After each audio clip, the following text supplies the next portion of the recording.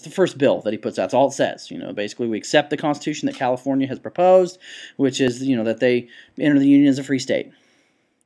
The second element of the compromise says that New Mexico and Utah, which are both territories, both territories out of that large uh, cession of land that the United States had gotten from Mexico at the end of the Mexican War, those two territories will have a vote We'll get to the voters in those two territories.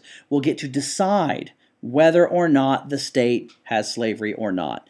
Uh, Douglas refers to this as the concept of popular sovereignty. The people are in charge, basically, is what popular sovereignty means. And so, New Mexico and Utah territories, popular sovereignty will decide whether or not they get to have slavery in those two states. Now, those two states are in the South. They're, they're for the most part, south of the Missouri Compromise line, uh, with the exception of Utah um, and although most of it is. Um, and so, you know, the idea that they, you know, would more than likely probably have slavery because people tended to to emigrate to the West in sort of a straight line, and so people who had had slavery as you know part of their culture more than likely were going to be ending up in New Mexico and Utah. So that's the second one. That New Mexico and Utah would would determine, you know, slavery based on popular sovereignty. So that gives the South the possibility of creating two new slave states. In, in addition, in, in effect, for giving up, you know, sort of um, California. In another element that's designed to appease anti slavery forces, anti slavery politicians and voters, the slave trade, the buying and selling of slaves in Washington, D.C., in the capital of the United States, is now banned. Okay? Many anti slavery and abolitionist politicians were extremely disgusted by the fact that here you had the United States, supposed to be this sort of bastion of liberty founded on the idea of, you know, sort of everybody's created equal and all this sort of stuff. Just a block away from the Capitol, you have human beings being bought and sold. You have human beings being kept in cages. And so the third sort and, and so those people had for years been wanting to ban uh, the slave trade. And so the third element, the third bill that Douglas pushes through. So each bill has its own sort of coalition that votes for it. So again, in effect, neither side has to give up anything. You just go vote for the stuff you care about. And the other votes, well, you vote against it and you lose. Okay, big deal. So the third element is that the slave trade is banned in Washington, D.C. The fourth element is probably the most controversial of the entire uh, compromise of 1850, as this came to be known. But again, it's really not much of a compromise at all and that is that the South, for years, Southern politicians and, and pro-slavery, uh, you know, um, activists had been pushing for a stricter fugitive slave law.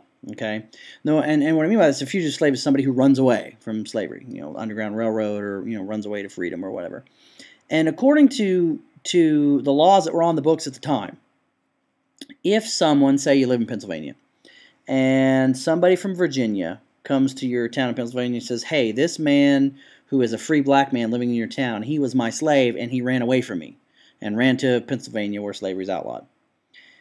If someone comes and does that, what would happen then is that there would be a trial in the state of Pennsylvania, okay, where the person lives, and it would be a trial by jury and the jury would decide whether or not this person actually was a runaway slave. And if they decide they are a runaway slave, then they are sent back into slavery. In this case, in the hypothetical I brought up in Virginia. We can guess the problem of this is, right? You go to a place where most everybody is against slavery, and many people are actually abolitionists. And so the jury that you're going to be facing is a jury made up almost entirely of people who are against slavery and so, oftentimes, even when presented with irrefutable evidence that this person was a runaway slave, they would still find that this person was not a runaway slave and that they were indeed a free man. And so, many slave owners felt like they could not get justice, what they felt was justice, um, in northern courts, uh, trying to get their runaway slaves back. And so, they wanted to change the laws that governed this situation. And so, as part of the Compromise of 1850, one of the, the, the bills that uh, uh, uh, Stephen Douglas pushes through is a stricter fugitive slave law, which says this. First off, it says if you know, if say you live in the North in a free state, and you know that, or even suspect that someone is a former slave and is a runaway slave, you are required by law to report them. Okay, whereas in the past there was no requirement that if you you know had knowledge of somebody who was a runaway slave that you were required to report them. This strict refusal of slave law actually can you can be thrown in jail for not reporting that somebody is a runaway slave if you live in a free state. Secondly, if someone is accused of being a runaway slave, they will their status will now not be determined by a trial by jury, but we will be determined determined by a special commissioner who is appointed by Congress. In addition, these special commissioners will be paid in such a way that if they find that someone is a free person, not a runaway slave, but a free black, they will be paid something like $5. If they determine that the person is indeed a runaway slave, they will be paid $10. And so there's this sort of built-in sort of bias towards, you know, if you want to make some money, towards finding that somebody is a runaway slave, even if maybe they aren't. And so instead of what a compromise, you know, sort of ought to do, which is one, each side have to give up something to get something they want. What it also does is it just upsets each side that much more, right? Northerners are incensed by that fugitive slave law. I mean, that just upsets them to no doubt. I mean, they, they see it as unconstitutional. They see it as just the, the, the Congress sort of giving in to slaveholders. Uh, they're extremely upset by it. And, and then you also have uh, you know, Southerners who are, you know, upset at the idea that they, you know, don't get to extend slavery possibly to California, even though the southern half of California is below the, the Missouri Compromise line, uh, and it's in line with other, you know, southern settlement. And also they're upset by the fact that they that they the slave trade is banned in Washington D.C. because there's a pretty thriving slave trade that goes on in Washington D.C. A lot of slaves are bought and sold there, and so what really the Compromise of 1850 does is to, while it it deals with the issue of getting California to the Union, it it just sows you know that much more animosity uh, between both sides.